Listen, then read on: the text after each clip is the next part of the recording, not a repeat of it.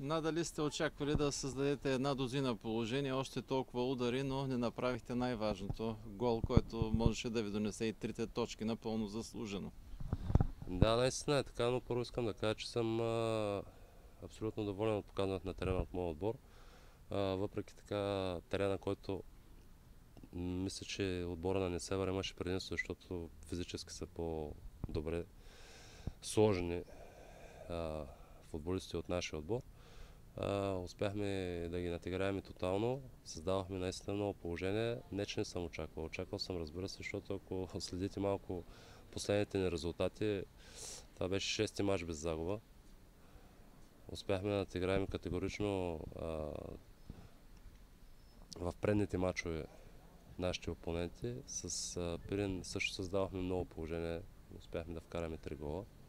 Но и това го има. В футбола отдавам днес липсата на, на късмет в нашия отбор, защото вие сами видяхте, че не са двама или трима човека. Мисля, че почти 80% от отбора излезе на, на голови положение и, и така само късмета и блестящите намеси на, на тяхния вратар не лишиха от а, заслужени три точки. С оглед на днешния матч, мислите ли, че трябва по-сериозна работа в завършващата фаза? Няколко пъти сами срещу вратаря, удари покрай вратата.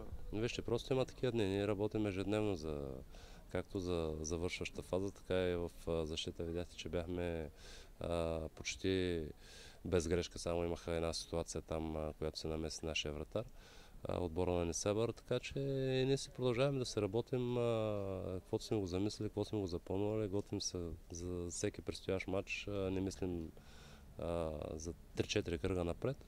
Така че ще обърнем естествено внимание тази седмица, но пак казвам, отдавам го повече на липсата на, на късмет днес в а, нашия отбор. ли да кажем, че след 9 кръга Литек си изглежда значително по-добре в сравнение с миналият сезон по същото време? А, естествено, значи, макар че миналия сезон по същото време имахме 15 точки, сега имаме 14. Пак ви казвам да си оправите там а, статистиката. Като игра миналия сезон също не отстъпвахме до 9-я кръг.